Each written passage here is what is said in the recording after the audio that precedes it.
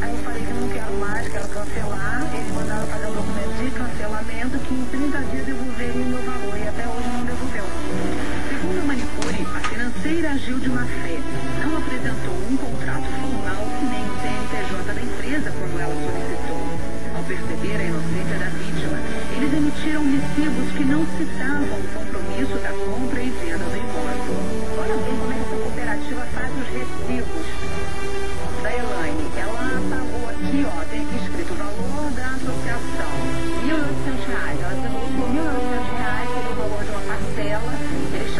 ficha de adesão.